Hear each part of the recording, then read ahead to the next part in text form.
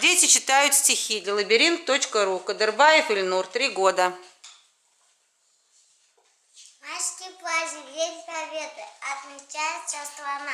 Надевают наши деды боевые ордена. И шут вас зовет дорога на террористы палат. И задумчиво с порога, что там бабушки глядят.